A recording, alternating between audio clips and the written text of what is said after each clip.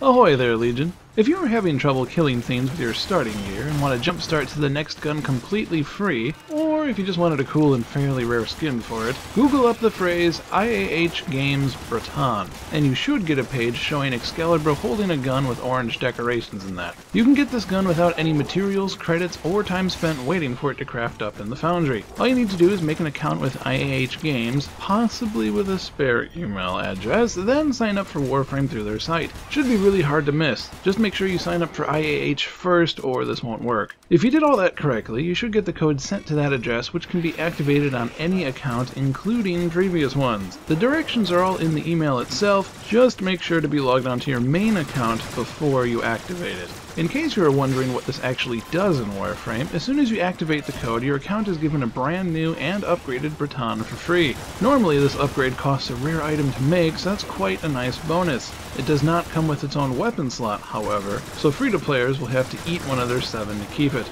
But considering it was free, looks cool, and was given to you already souped up, I'd say it earns its slot. Quick shout out to IAH Games for offering this gun combo. They seem to be cool, so if you want to try out other games they support, feel free. Thank you for watching, Legion. Hopefully you enjoyed this sneak peek at the boss killing and money making guide we have in the works. Not sure if it'll be up Wednesday or Friday, but it should be live before the week is out. As always, if you have any questions or suggestions, feel free to leave a comment below. Catch you next time, Legion.